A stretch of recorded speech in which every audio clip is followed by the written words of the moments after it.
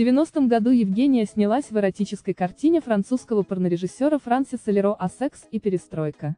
С того момента карьера актрисы пошла в гору. Наибольшую известность Евгения получила после выхода сериала «Петербургские тайны». Евгения сохранила прекрасную кожу, стройную фигуру и в свои 48 лет выглядит прекрасно.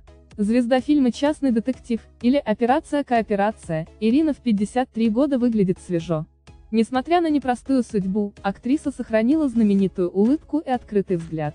Большинство знает Яковлеву по роли Анастасии Каменской в одноименном детективном сериале, но есть те, кто помнит актрису по фильму «Интердевочка». В юности Елена была стройной блондинкой с томным взглядом.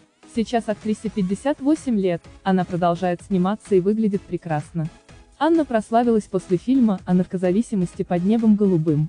Тогда у актрисы были темно-русые волосы, и она располагала к себе приятной открытой улыбкой.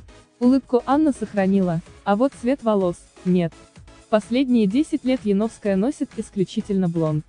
Красавица Ирина Алферова стала известной на весь Советский Союз после роли Констанции в фильме «Д'Артаньян и три мушкетера». Она начала сниматься в кино с 19 лет и продолжает до сих пор. Сейчас актрисе 68 лет, и она прекрасно выглядит.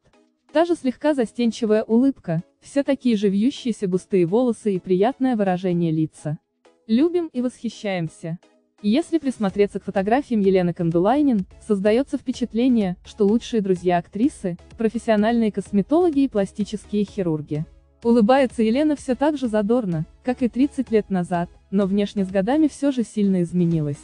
Текст Анны Челнова фото, Persona Stars, Legion Media.